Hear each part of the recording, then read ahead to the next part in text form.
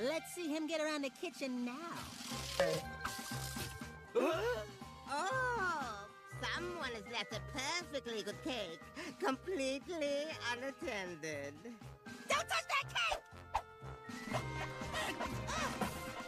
I think I will give it a lick.